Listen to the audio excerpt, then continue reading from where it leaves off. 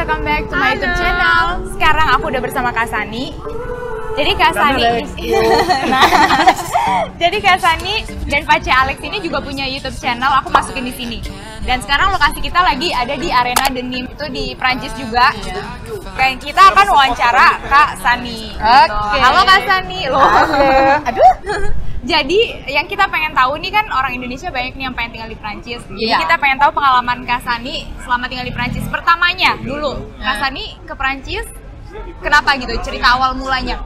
Pada intinya sih karena nikah dengan suami ya, awal mulanya ke ceritanya itu agak sedikit panjang. Kalian kalau sudah ikut YouTube saya pasti kalian tahu dia punya cerita ya. Eh, waktu itu agak sedikit perdebatan waktu mau pindah ke sini karena saya kan masih kerja kontrak saya itu masih setahun lagi dari eh, waktu yang harus diputusin gitu. Karena saya kan guru penyelam gitu jadi ada kontrak. Nah tapi eh, untung saya dapat bos yang baik jadi dia saya bisa selesain sebelum kontraknya selesai. Jadi pindahlah saya dengan sini. Karena kenapa? Suami saya kerja di sini dan setelah diskusi yang agak lama, uh, dia juga bicara tentang security, apa semua untuk anak-anak, karena saya pi- pingin uh, edukasi buat anak-anak juga lebih bagus kan, jadi saya ikut dia ke sini. Karena Hmm. Alex juga agak sulit untuk cari kerja di Indonesia, jadi lebih baik pindah ke sini. Dulu di Indonesia tinggalnya di Sana di Bali, berarti Bali, di Bali. ya, di Oh. Bali, ya. Terus kesan-kesannya di Prancis gitu. Kak Sani lebih senang tinggal di Indonesia apa di Prancis?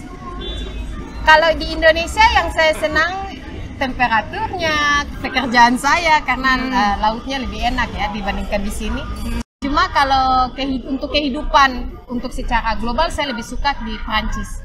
Di Prancis. Nah, karena lebih security gitu dibandingkan di Indonesia. Oh karena kita ada security sosial, lebih terjamin kesehatan lebih terjamin kehidupan kita di sini. Kalau di Indonesia kalau kita kerja kayak cuma di apa di restoran atau apa begitu, setelah kita putus kerja nggak ada dia punya somas atau apa tuh uang pengangguran kan. Misalkan di sini terjamin kita memang kerja dipotong pajak tapi setelah putus kerja uangnya dikembalikan ke kita tapi tidak sepenuhnya hanya beberapa persen gitu untuk menjamin selama kita masih mencari pekerjaan yang lain. Mm-mm. Walaupun pajaknya besar, tapi ada keuntungannya di belakang gitu ya. Itu yang saya senang. Nah kalau culture shocknya, Kak Sani apa yang paling kaget waktu pertama kali datang ke Perancis? Wah ternyata di Perancis gini nih gitu. Kalau culture shocknya saya nggak terlalu eh, terlalu eh, culture shocknya ya.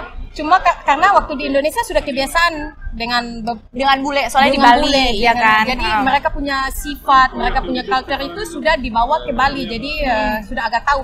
Cuma yang paling saya shock itu setelah saya pindah ke sini, ibu mertua saya harus panggil nama gitu.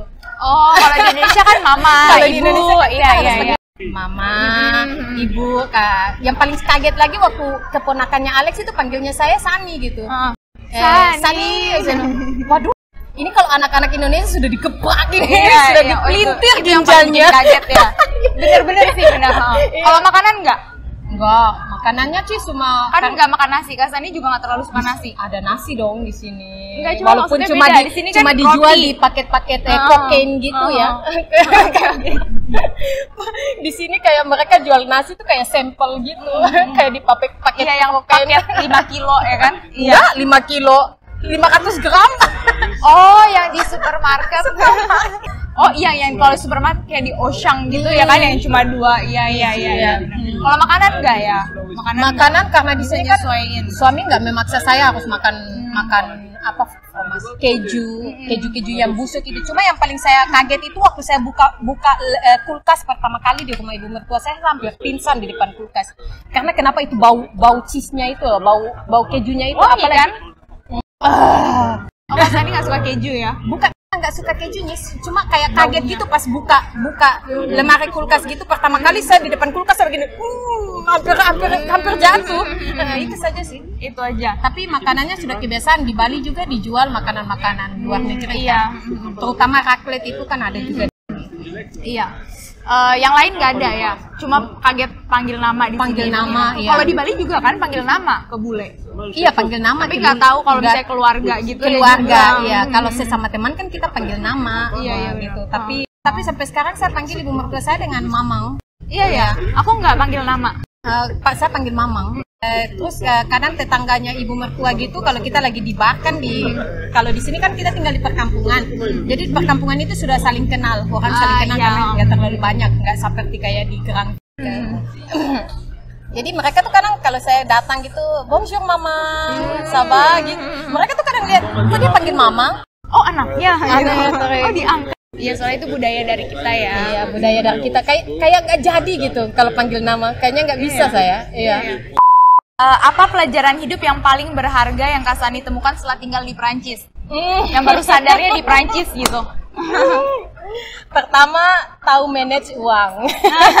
Karena kalau di Indonesia gitu uang tuh kayak cuma numpang lewat gitu. Ah. Dapat gaji langsung habis Oh. karena kan masih muda. Sedangkan di sini kan harus tahu mengatur uang buat ini apa eh, kayak bayar Perencanaan, ini, ya perencanaan iya. ke depan, harus nabung. Kalau misalkan di Indonesia kan kita nggak pernah kayak tahu lah anak-anak muda tinggal Ada keluarga juga, jadi Ah. merasa kayak lebih aman. Hmm, ya kayak kan? lebih aman Ah. gitu. Jadi eh, kadang nabungnya cuma sedikit, sedangkan di sini harus nabung banyak karena pikirnya ke depan mau beli ini, Ah. rumah. Kan udah apa. berkeluarga juga. Waktu di Indonesia kan masih single. Iya, iya. iya. itu.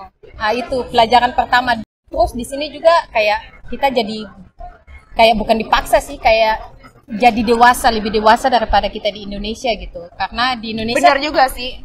kalau Iya. kamu nggak ngerasa nggak, tapi saya kerasa banget. Aku juga sih ngerasa. Saya walaupun waktu pindah ke sini udah umur 30-an, tapi kayak masih kekanak-kanakan gitu. Hmm. Sedangkan setelah di sini jadinya lebih dewasa karena Dipaksa mandiri. Dipaksa mandiri. Dipaksa mandiri. Iya, itu di- Ha-ha. dipaksa mandiri harus tahu mengatur ini, harus tahu mengatur itu. Iya, jadi lebih kayak mikir panjang. Hmm, mikir Aku juga panjang. merasa gitu. Saya tuh dulu mikirnya pendek. Jadi itu kenapa ibu, saya bilang kamu itu kalau dapat gaji ya berjuta-juta tapi kayak cuma numpang numpang lewat. Saran-saran untuk orang Indonesia yang mungkin mau pindah ke Prancis, mau merit juga sama orang Prancis, saran dari Kasani deh. Oke, eh, kalau saran dari saya Yang siap-siap gitu Hmm. kalau di Prancis. persiapan pertama itu eh, harusnya eh, setiap orang kan punya saran yang berbeda-beda. Hmm. Kalau saya ya dari pribadi saya sendiri lebih suka kamu jangan bergantung ke orang lain walaupun itu suami kamu sendiri. Iya. Karena em, kalau kamu cuma hidupnya bergantung dari suami, Hmm. ujung-ujungnya jadi nggak bisa apa-apain di sini karena segala sesuatu yang buat suami gitu. Tapi kalau kamu sudah belajar keluar kayak belajar kultur juga, saya lihat ya ada orang yang menikah dengan orang Prancis kehidupan sehari-harinya itu cuma di rumah. Akhirnya eh, surat-surat yang dibuat suami, eh, ini itu dibuat suami, akhirnya pas rumah tangganya berantakan, Dia nggak bisa apa-apa ya. ya, nggak bisa apa-apa gitu. Itu jadinya sedih kelihatan. Nah jadi lebih bagus tergantung pada diri sendiri.